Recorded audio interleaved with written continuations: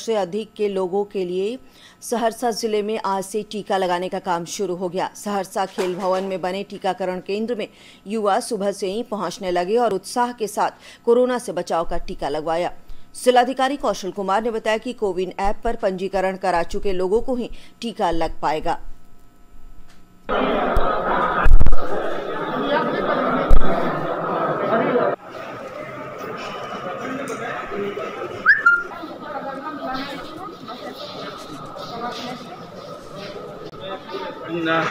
काफ़ी उत्साह लोगों के बीच में है। और यह तो सिद्ध हो चुका है कि कोरोना वायरस के, के खिलाफ जो जंग में सबसे अहम अस्त्र जो है वो टीकाकरण ही है अंतिम अस्त्र।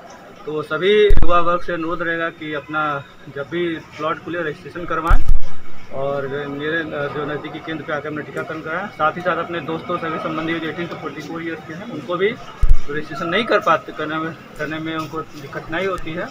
उसको भी रजिस्टर करके यहाँ पे नालंदा